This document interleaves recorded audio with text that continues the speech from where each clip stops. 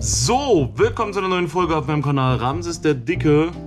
Eine neue Folge Ramses Kitchen und wir haben heute wieder was ganz Besonderes für euch vorbereitet, denn ich habe ja letztens die Samyang Quattro Cheese getestet, neben den normalen Samyang Bulldog äh, Cheese, die ich sonst immer übelst gern esse, übelst gern mag, wie auch immer. Meine Lieblingssorte war die ganze Zeit. Haben jetzt die Quattro Cheese mit vier Käse, die Samyang Cheese, abgelöst. Ich habe leider keine normale Packung mehr. Ich habe jetzt leider also nur noch diese zwei Becher. Die waren auch mega teuer, sind auch relativ selten zu erhalten, würde ich sagen. Aber es gibt noch seltenere Sorten wie den äh, Ice Type, die Sommeredition in Blau. Oder Cream Carbonara gibt es ja auch noch. Ich habe aber noch zwei Sorten, die ich noch testen möchte. Eine, die so ähnlich aussieht, zum Beispiel wie Cream Carbonara, möchten wir uns heute mal angucken. Und das sind diese Samyang Bulldog Ramen Rosé. Da steht extra hier Rose Rosé. Ich weiß nicht genau, die Packung unterscheidet sich ein bisschen von den anderen, weil das sind nur Vierer-Packs. Normalerweise kenne ich das, dass das alles immer ein Fünfer-Pack ist. Das ist ein Vierer-Pack. Was das zu sagen hat, weiß ich nicht. Wir werden es auf jeden Fall so machen wie immer. Ihr seht typisch natürlich hier das Samyang Hühnchen. Das muss auf jeden Fall drauf sein, sonst ist es kein Hot Chicken Flavor Rahmen. Das ist ja das, worauf es mir ankommt. Ich brauche nicht alle Samyang-Produkte, aber diese dicken Nudeln mit Samyang-Geschmack, die möchte ich bitte mal alle durchtesten. So, vier Päckchen sind da drin. Ich stelle es mal hier rüber. Und so muss ein ganz normales Samyang-Päckchen aussehen. Man könnte jetzt denken, ach, das sieht aus wie Carbonara, aber nein, das ist Rosé. Da steht auch alles nur auf Chinesisch drauf. Aber ich werde es trotzdem einfach machen, wie ich es immer mache. Jetzt den Wasserkocher anwerfen und dann mal gucken, wie es aussieht auf dem Teller und was da für Tütchen drin sind. So, Adi sitzt schon bereit. Hier mal also das Tütchen, das machen wir jetzt mal auf. Ich bröckel das ja immer in den Topf rein. Dann da fällt was daneben. Hier haben wir also eigentlich ein Beutel Soße, der immer dabei ist und dann immer einmal, äh, naja, Gewürze sagen die einen, obwohl meistens ist da ja nur Algen und Sesam drin, das ist ja nicht scharf. Bei dem anderen ist halt Käsepulver drin. Hier wird jetzt auch irgendein Rosenblüten, genau, da sind die Rosenblüten drin. Und Adi, guck mal, ich habe schon gesehen, hier ist was abgegangen. Ja, Adi mag nämlich auch die Samyang-Nudeln total. Man darf nur nicht so viel davon essen, sonst wird er noch dicker. Wir haben wieder ein schönes Nudelnetz. Ich habe letztens mal wieder die Carbonara gemacht. Ich habe gesehen, bei den Carbonara ist das ja rund. Und irgendwie haben die Nudeln bei Carbonara auch irgendwie ein bisschen eine andere Konsistenz. Während ihr hier dieses typische Netz habt, was einmal in der Mitte gefalten ist und dann zusammengelegt wird. So, das Wasser müsste fertig sein. Diesmal habe ich auch nur 500 bis 600 Milliliter genommen. Adi, du merkst bestimmt jetzt, dass es heiß wird. Letztes Mal habe ich ja einen Liter genommen, da war es viel zu viel. Weil ich es gewohnt war, dass ich immer gleich zwei Packungen mit einmal mache. Da brauche ich einen Liter und auch einen größeren Topf. So müsste das jetzt reichen. Und man merkt halt direkt nach dem Eingießen, wenn man das ein bisschen in das Wasser reintaucht, wie aus diesem festen Netz, schon gleich die Nudeln anfangen weich zu werden. Das geht so schnell und so einfach. Dann nur noch abgießen, auf den Teller klatschen und das Pulver und die Soße drüber. Dann ist das Ding auch schon fertig. So mache ich es immer, so schmeckt mir das am liebsten. Ich will die Soße immer direkt auf die Nudeln und nicht, dass sie komplett verdampft, dass es dann wieder trocken wird. Jetzt sind die theoretisch weich, aber nicht zu weich. Das heißt, zack, Sieb her, zack, Topf her, rein damit, weg, bisschen abschwätzeln, dass hier alles rausläuft. Einmal in die Richtung, einmal in die, einmal in die nächste. Dann den ganzen Bottich nehmen, die Nudeln und dann hier drauf. Und dann sehen wir wieder, dass das halt einfach voll die kleine Portion ist. Jetzt werdet ihr sagen, was, das schaffe ich nie im Leben. Also ihr. Und ich denke mir so, hm, hätte ich lieber zwei gemacht. Aber es ist ja nicht jeder so verfressen wie ich. Jetzt tun wir es hier rüber, schmeißen die Soßen drauf und gucken uns das an, wenn es fertig ist. So, Nudeln sind da. Wir machen mal das äh, Soßentütchen auf.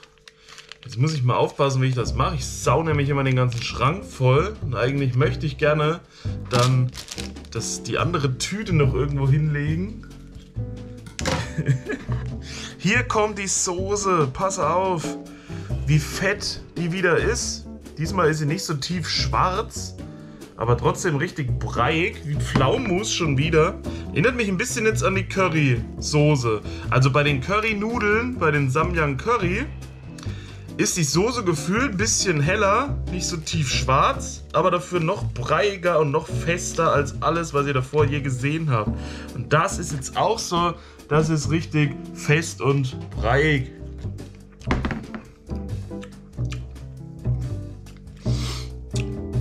Also so an sich merke ich jetzt keinen Unterschied. Beim letzten Mal habe ich, hab ich erst das Pulver drauf, dann rumgemacht. War vielleicht nicht so sinnvoll.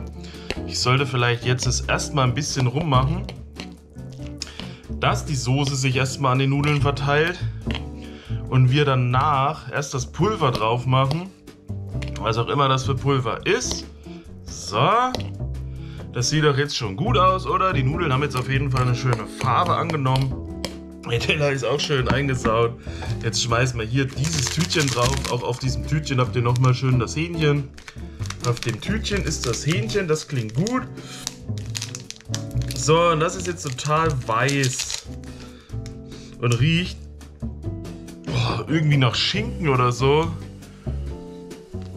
Ob das so sein soll, im Endeffekt ist es jetzt wieder komplett falsch. Im Endeffekt ist das Pulver, was du im, im, kochenden Wasser auflöst und dir dann eine Nudelsuppe draus machst. Egal. Jetzt haben wir das hier drauf. Es riecht irgendwie sehr also wie, wie Bacon, gleichzeitig auch irgendwie salzig. Schinken ist ja meistens sehr gesalzen. Ich mache das jetzt hier einfach rum.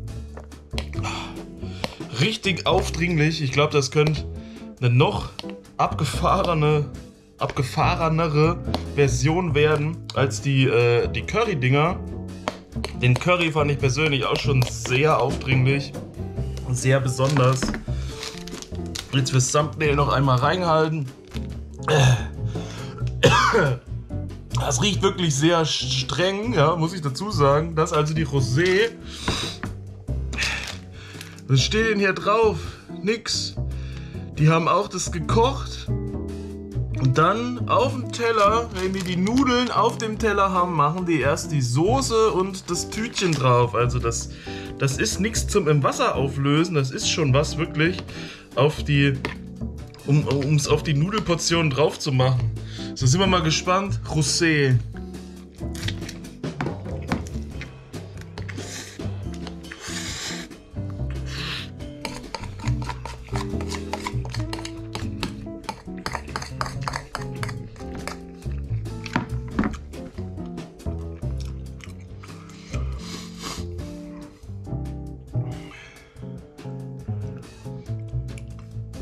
Glaube, ich erkenne gerade was auf der Tüte.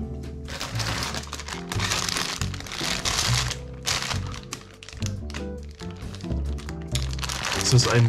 Ist das hier ein. ein Backofen? Ist das hier Bacon? Sollen das Schinkenstreifen sein? Vielleicht ist das ja genau das, was das so machen soll. Schinken? Cremiges Schinken-Mayonnaise-Ding? Dann ist es. Erinnert mich trotzdem irgendwie an Cream Carbonara. Ich muss auch sagen, es ist sehr mild. Also Fast alle Sorten, die ich kenne, sind schärfer als das. Das ist nicht so scharf. Das ist vollkommen in Ordnung. Vielleicht für Einsteiger geeignet.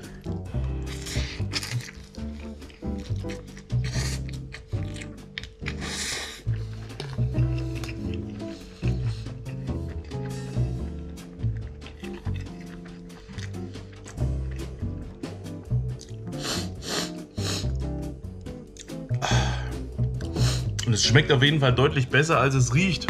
Den Geruch fand ich wirklich sehr aufdringlich. Da hatte ich erst Bedenken, aber der Geschmack an sich ist eigentlich in Ordnung.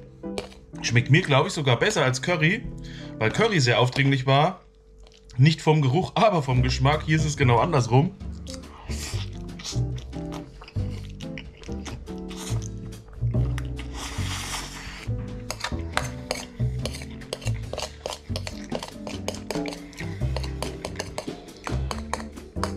Ich bleibe immer noch dabei, dass es hier irgendwie so eine Schinkennote hat.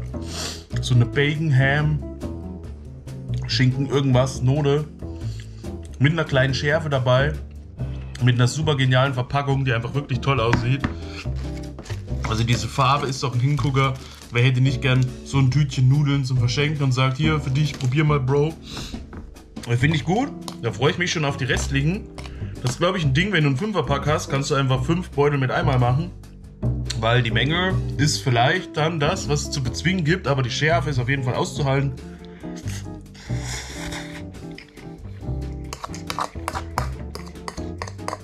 Also interessante Sorte. Nichtsdestotrotz schmeckt mir Quattro Cheese noch besser. Und das nächste Mal haben wir ja nochmal eine Sorte, die wir auch noch probieren wollen. Die hier, denn das sind die Samyang Bulldog Yambong. Yambong mit 2 J, mit 2 B. Samyang Yambong. Da ist auch eine Schärfeskala drauf im Vergleich zu anderen. Da steht aber wieder nichts, das sind nur die Bilder drauf. Die Farben, die das ungefähr sind. Ich habe mir mittlerweile auch Habanero Lime bestellt. Wenn das kommt, werde ich das natürlich auch testen.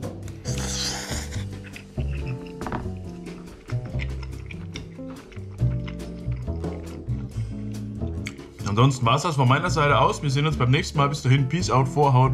Euer Ramses.